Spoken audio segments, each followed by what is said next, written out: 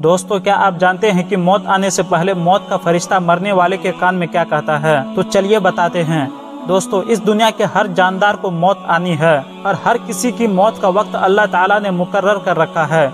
जैसा कि अल्लाह ताला ने कुरान पाक की सूरतुल इमरान के आयत नंबर एक सौ पचासी में अल्लाह फरमाता है कि हर जानदार चीज़ को मौत आनी है। दोस्तों, अल्लाह ताला ने एक फरिश्ते को इसी काम के लिए मुकर्र कर रखा है।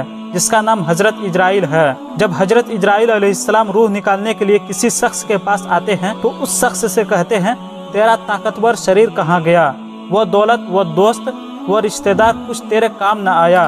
अल्लाह ताला हम सबको नेक राह पर चलने की तौफीक दे।